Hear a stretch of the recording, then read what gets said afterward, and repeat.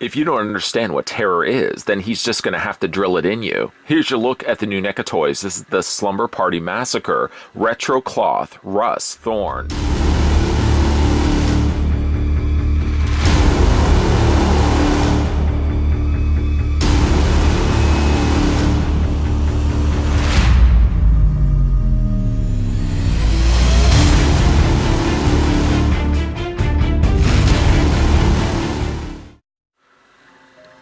High school student slumber party turns terrifying as an escaped mental patient with a drill decides to crash the evening.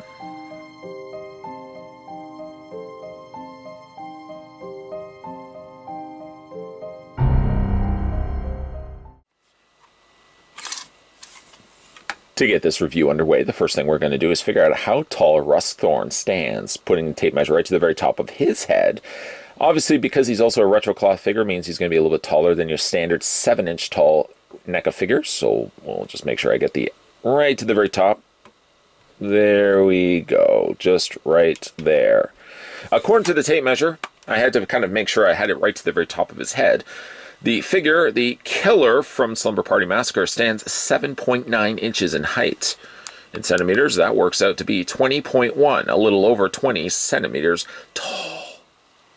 Let's look at the accessories that come included with the killer from Slumber Party Massacre. Ironically enough, I always thought his name was simply just coined the Driller Killer, but his name, according to IMDb and the credits in the film, is actually Russ Thorn. I'd have to go back and watch the film again.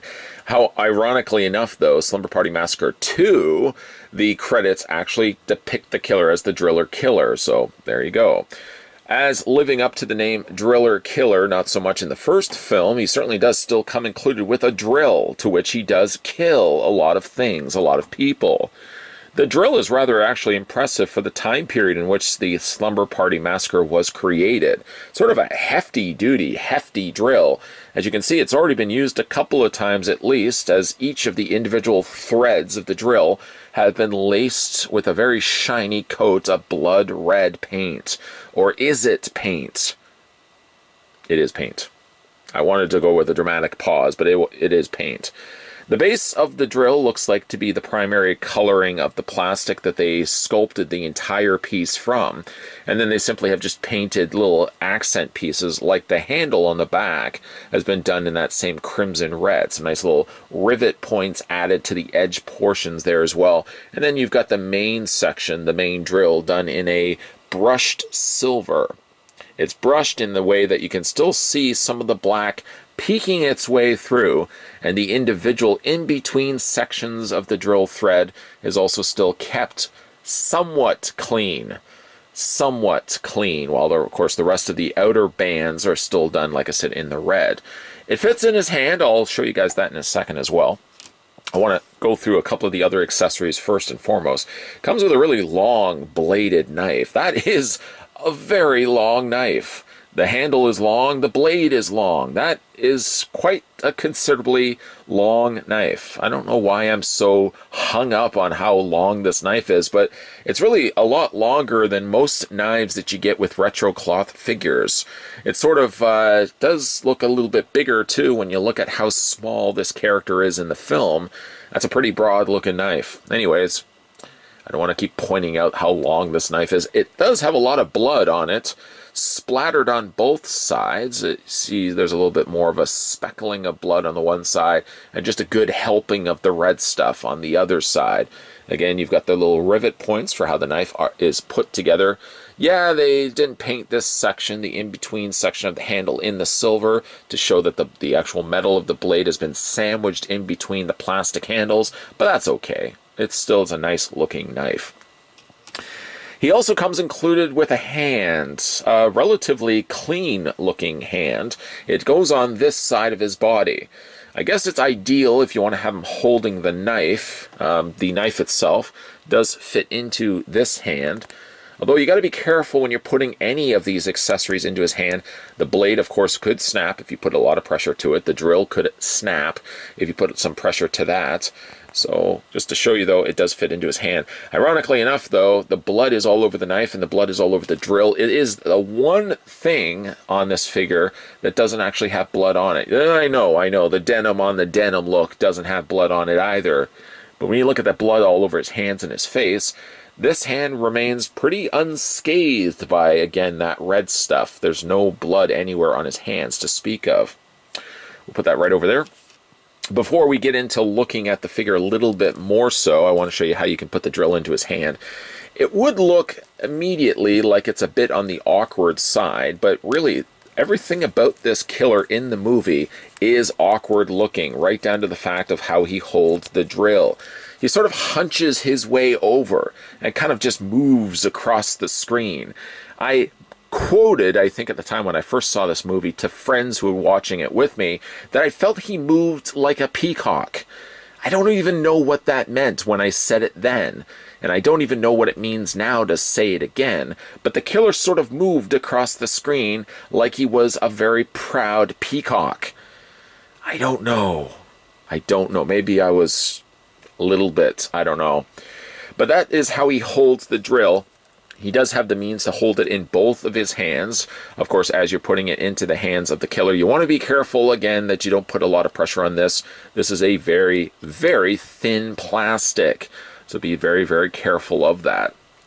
Let's go ahead and take this out of his hands. Just like so. There's one, and we'll just slide that out. We'll put that to the side. And we'll have a look here at Russ Thorn. And again, there's nothing really quite intimidating about this killer. He's probably one of the least intimidating killers in all the slasher films. He doesn't have a mask. Instead, what he sports is a denim jacket and denim pants. He's denim on denim, hunched over like a peacock with his drill in hand. The likeness, I have to admit, is pretty good, all things considered, for a really a killer I never expected to see ever as a NECA figure, let alone as a retro cloth figure. But here is the killer Russ Thorn, played by Michael, I believe it was Michael Villella, uh, who played the killer in the movie. Again, nothing really intimidating about him. A very short killer as well, not drawing a lot of attention to the fact that this character is so small, but the likeness is actually quite good. The paint is exceptionally clean.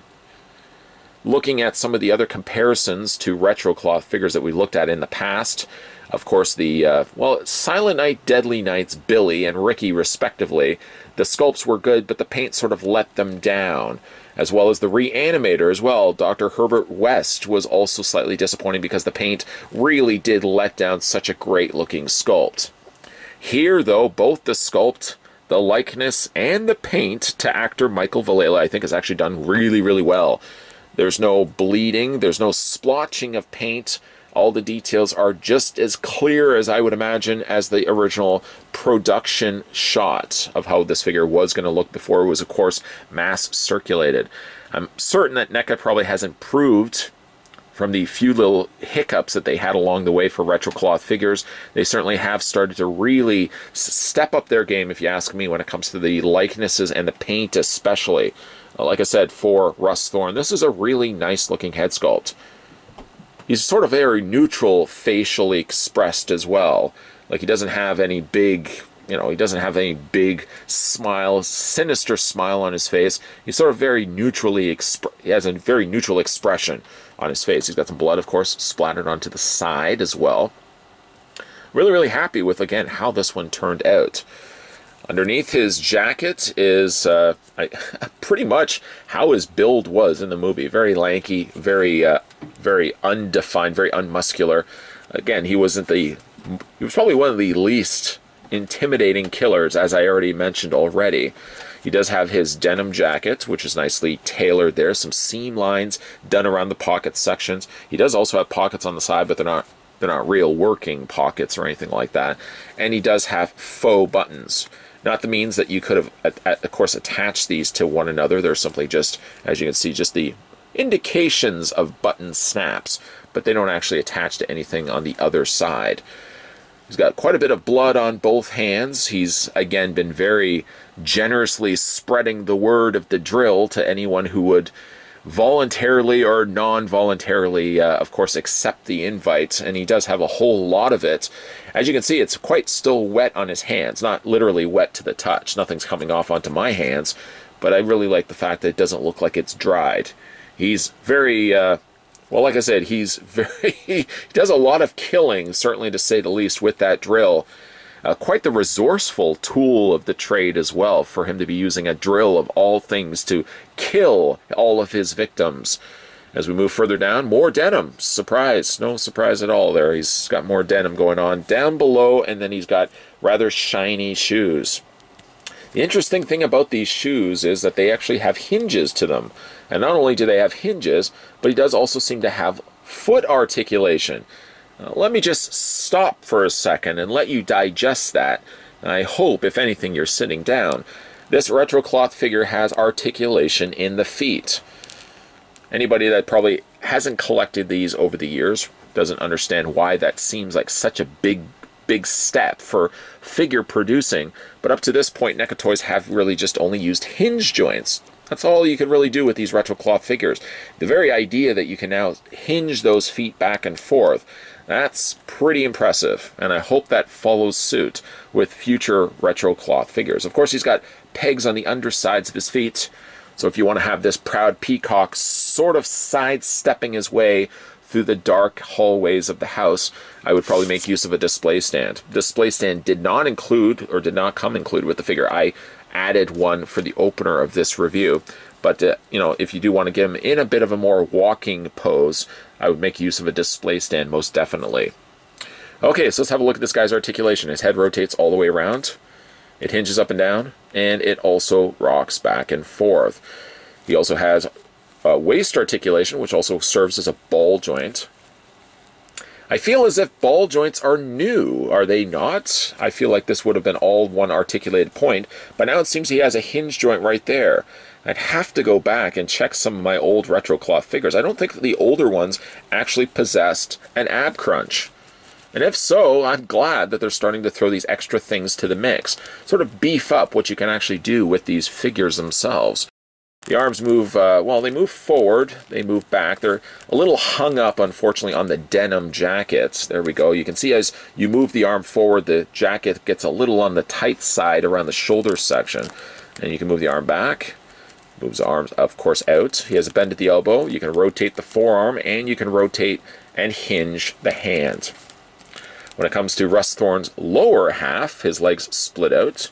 You can go forward, you can go back, you can swivel at the top cut of the thigh, you single hinge on the knee, and as we already discussed, what a nice surprise to see that they also put the hinge joint as well as articulated ankle pivots.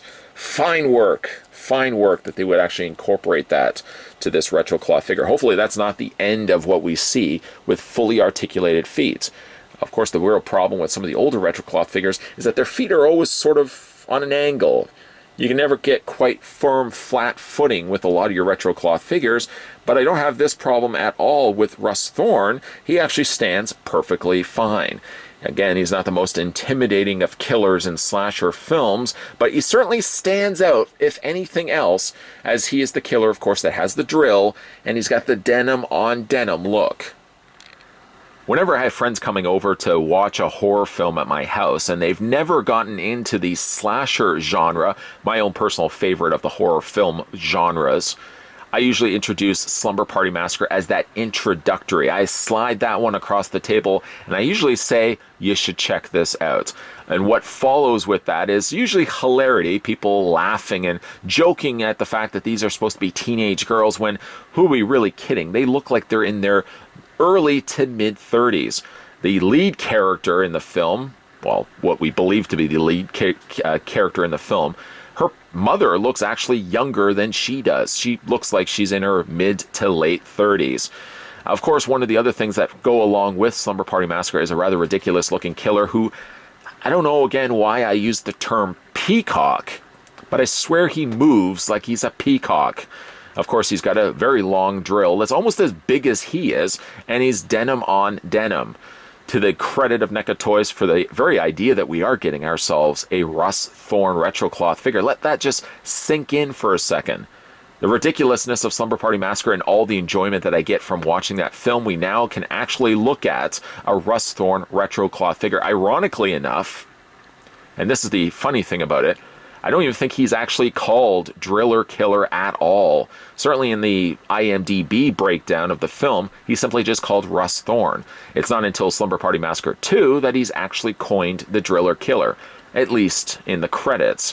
One thing I certainly would love to see, leading then away from Slumber Party Massacre 1 and into Slumber Party Massacre 2 territory, wouldn't it be awesome to get ourselves a retro cloth figure of the Slumber Party Massacre 2 Driller Killer, complete all leather clad instead of denim on denim. He's leather on leather, and of course, he has that over the top guitar drill. Man, I'd love to see that happen. NECA Toys, if you are in the fancy of continuing the Slumber Party Massacre tradition, please, oh please, do give us a Driller Killer 2 from uh, Slumber Party Massacre 2. He's not really called Driller Killer 2, but Slumber Party Massacre 3, it's don't even bother watching it. It's not even worth it. But Slumber Party Massacre 1 and 2 are recommended watches, if you ask me, if you want to get into the slasher genre of horror films.